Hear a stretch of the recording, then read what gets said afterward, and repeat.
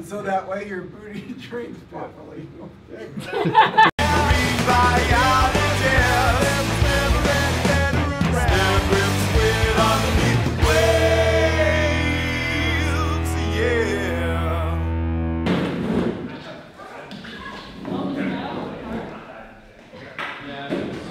Uh, we're gonna put two boats out in the water. We have two inflatables we'll look at that we use for most of our diving activities because they're typically easy in, easy out for the divers. And they'll have both of them either with, with engines, they'll just be out there with paddles, and can be just offshore. Uh, so you'll see there's a checklist of things that you can do. For those of you who aren't aware, this this is our library. This is our library. It doesn't really get used for a library as far as books and things. Uh, but great as a study room. And third, I kind of set up this area, I, I like to think of it as a scuba material corner. And so my recent scuba journals I put there. I have some maps up of scuba uh, locations in the general area and a map in the world, of the world, so we can all sort of drool when we think about places that we want to dive. Hi, Nancy. Hi, Nancy! Hi. Hi, Nancy. More- Come on in, everybody. Let's crowd around. So this is the, the uh, scuba storage area, the scuba locker. Yeah, each of you can you know hang your things. We have hangers over here, bar and hangers. There's bar and hangers over on this side as well. Whichever side you choose, no problem whatsoever. Nice thing about this is it allows the things to sort of drain out. A key thing with the booties, and it's important that, that you think about this, if you have a wet booty, scuba booty, and you happen to put it on like this, all the water is just going to pool down in the toe and it's not going to be able to drain out. So always make sure that your booty is pointed up. and so also see the, the variety of, of scuba tanks that are in here. Many of these tanks, you'll see a Rosario Beach Marine Laboratory sticker on those. These new ones over here, for example. Those are university-owned scuba tanks that you can use.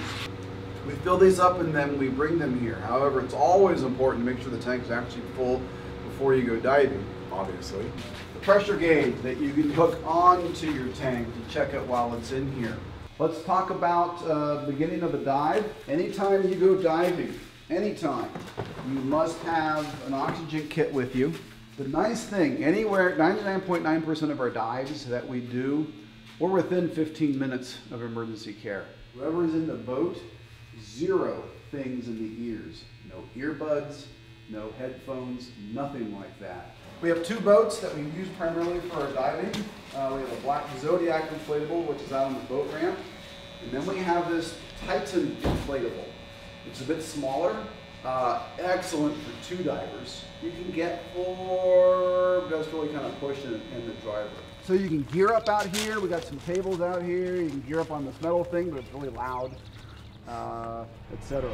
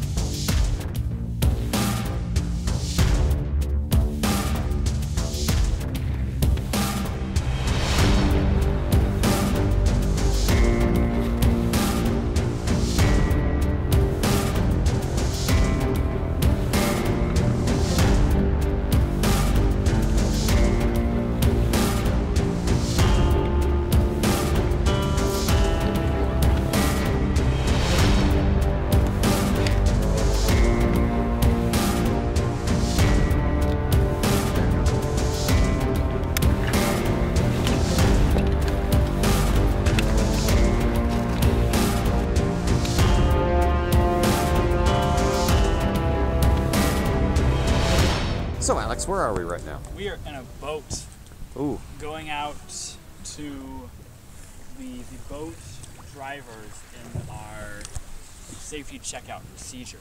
ah. This is going to be hard to film and paddle at the yeah, same time. that.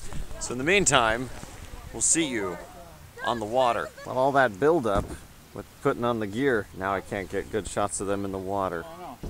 I don't know. But hey, that was a fun time, though, wasn't it?